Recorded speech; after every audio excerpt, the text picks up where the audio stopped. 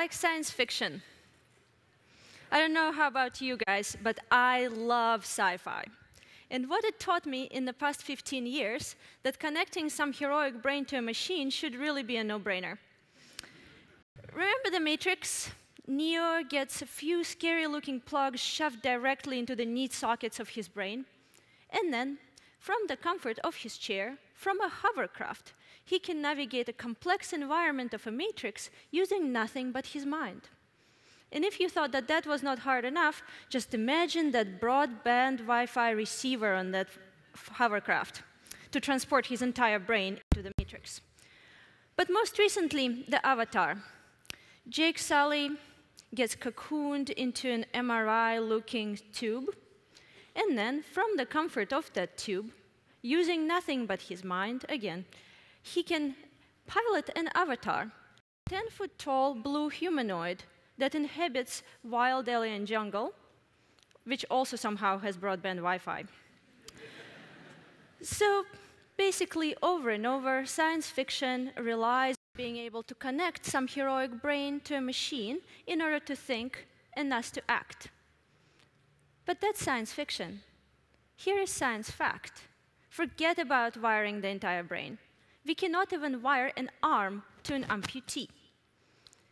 But what do I really mean? We have seen those beautiful arms. Some of you might even have them, all the degrees of freedom, the articulated fingers. But guess what? Those fingers can't feel. An amputee equipped with this arm cannot feel a strong handshake. Neither can they feel a difference between a soft, fuzzy peach or a smooth, fragile egg. You think it's a hard problem. You don't look surprised. You should be. Think about our electronics. Transistors in your iPhone are about one five thousandth of a hair. Neurons in your brain are about one fifth. Transistor can do billions of operations per second. A neuron can do only about 100. So how come we cannot connect something so small and so fast as a transistor to something so big and so slow as a neuron. Here's a catch. A transistor is, has three connections. A neuron can support over 6,000 synapses. As engineers, we are trying to connect to this mess. What you see behind me is a state-of-the-art, commercially available deep brain stimulation implant. If you were a Parkinson's patient that stopped responding to medication, this is what you would get. As you are sitting completely awake, a doctor will drill two holes in your skull through which they will feed millimeter thick, three inch long wires directly into your head. Through those wires, we will apply voltages between 1 and 10 volts, which is about 100 times more than what's used by your neurons for communication. And that's the therapy. And even with this technology that looks rather crude and actually dates to 1800s, we have pretty promising results. In fact, you may know that deep brain stimulation can relieve some of the Parkinson's patients, restore motor control, reduce tremors. The question is at what cost? At the same time, the same stimulation can change someone's personality from a workaholic to a slacker, turn them into an unstoppable gambler, a very common side effect, by the way. It can give people an incurable depression.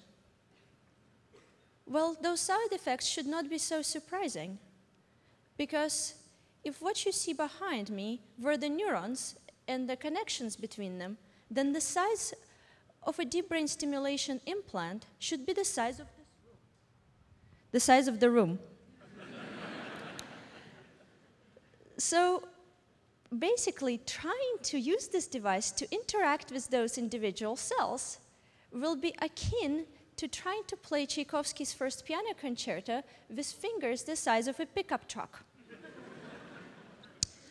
So you say that the resolution is not high enough and the device is too big. But hey, as engineers, we are really great at making things small. We have reduced the computer from the size of a building to the size of a pocket. So how come the strategies that worked so well for us for miniaturizing and scaling silicon-based electronic circuits do not work for us to connect to neural circuits? Okay, let's take a look. This is a silicon wafer. This is what's inside your iPhone. This is the, what all the modern electronics are, ba are based on. It's hard, it's brittle, it's sharp, it's very flat, it's smooth. It is really good for one thing, carrying currents and supporting voltages. Here is your brain. Put, put your two fists together this is about the size of your brain. And its surface is really three-dimensional and developed. And on the inside, it's soft, like a pudding. In fact, you can scoop it with a spoon. And within that soft pudding, there are billions of cells, not just neurons, that are constantly interacting with each other electrically, but also exchanging chemicals, also wiggling and pulling constantly. Brain is nothing like a silicon wafer. And if you think that's not enough, think about your arms and legs and the nerves inside them, or your spinal cord. Imagine what happens to them, what strains they experience every time you get into a downward dog in a yoga class. or simply get out of bed. So basically, those squishy environments are nothing like silicon wafer. And in order for us to connect to them, we would need new materials. The, these materials need to be able to be more squishy. They need to be able to match this mechanical complexity of neural circuits. But at the same time, they should be able to interact with the brain across all of its languages, not just electrical, but also chemical and also mechanical. How can we do this? How can we build such a device? I'll show you a prototype of a structure that does exactly that. What you're going to see next is a movie recorded with a device that can interact with the brain electrically. It records neural signals, neural voltages. Those are the black spikes that you see. It can supply a stimulus optically as the pulses of blue laser that you see on the screen, and it can infuse chemicals. You will see them as a pink rectangle. What you're going to see is neural activity triggered by those pulses, and then this neural activity is going to change. In fact, it's going to decrease in response to a chemical infused through the same structure. So you see the activity, this is the chemical, and the activity decreases. The reason why it decreases because the chemical is an inhibitor. And then, when the brain naturally washes out this chemical, the activity comes back. And this is all done with the same structure. So we interacted with the brain across multiple modalities. We have interacted electrically, we have interacted chemically. What about mechanics? How do you think this device looks? take a look at one of your hairs. Pick one up. The device that allowed us to interact with the brain across those modalities looks just like one of your hairs and feels just like one of your hairs. Imagine that at the tip of your hair, there are electrodes to record neural signals, there is a light guide to supply stimulation, and there are microscopic channels to infuse chemicals. What is this device? Of course, it's not a hair, it's a fiber. Many of you might be familiar with optical fibers that go underneath the Atlantic and Pacific. Those are glass cables that allow you to exchange information with your best friends in London and Tokyo. Our devices are made very similarly, except they're not glass. They're composed of many different materials, and those materials have different functionalities that allow us to speak languages of the brain. But really, this device feels like a hair, but does it actually match the mechanics of the brain? Does it leave a mark on the nervous, uh, on the nervous system? What you see behind me is the brain slice. The bright dots are nuclei of cells. And what you see that there are a few holes inside that brain slice. One of them is left by our device, but others were there naturally. What are they? They're blood vessels. They're holes left by blood vessels that carry nutrients and oxygen to the brain. And it looks like we are tricking the brain into thinking that our device is a blood vessel and thus reducing its response. So maybe as we are learning from biology to design the devices after the blueprints of the brain or after the blueprints of the blood vessels, maybe we can start hacking the brain without it ever noticing that it's being hacked. But whom am, am I kidding? Let's don't get ahead of ourselves. Which ones of you are ready to get this device implanted into your head? Ah, you should meet me after this, and um, I have a few forms for you to sign, and we are taking the tea right back to my lab. Those of you who are not, I don't blame you, because no matter how small, how multifunctional, how soft, and how flexible I make the device, we still have to implant it. We still have to drill holes in your brain. We still have to have wires and tethers. So ultimately, what's better than the minimally invasive neural interface is the interface that's non-invasive at all. Can we come up with the way to interact with the brain wirelessly and completely remotely. How can we do that? We'll have to look deeper into the brain, into way it functions. Ultimately, what we are trying to do is to control voltages on neurons. And those voltages are controlled by concentrations of ions inside and outside of neurons. If we learn to control those concentrations of ions, we can control the brain. How can we do it? Well, let's imagine a neuron as a building. This building has walls.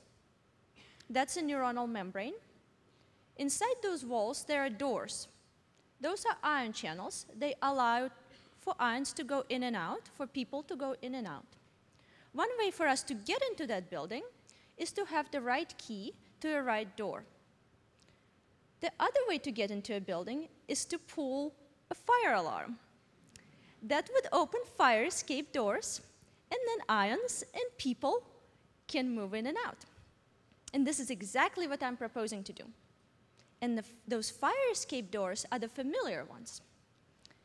Imagine eating a habanero that familiar sensation of burning pain on your tongue is precisely the same if you were to place your tongue directly on the stove.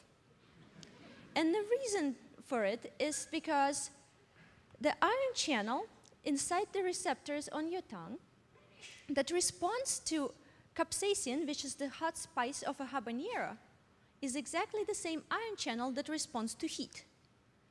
And this ion channel is not only present in your tongue, or it's also present in the neurons in your brain or across the entire nervous system. So basically, what I'm proposing to do to control the brain is to heat it up. We don't want that, that's fever. What we do want is to control specific groups of cells when we want them and uh, to do whatever we need them to do. How can we do that? How can we deliver that heat stimulus where we need it deep in the brain? Remotely and wirelessly. It turns out we humans are really transparent to magnetic fields. In fact, the fields with frequencies of hundreds of kilohertz and low amplitudes, we don't feel them at all. Why am I telling you this? Because we can synthesize magnetic nanoparticles. Those are essentially speckles of magnetic dust, about one five thousandth of your hair, and they can be dissolved in water and form a fluid that looks just like an espresso. But when we place them in a magnetic field that's variable, these particles undergo a process called hysteresis. We can think about it as a magnetic analog of friction. And through that process, they heat up.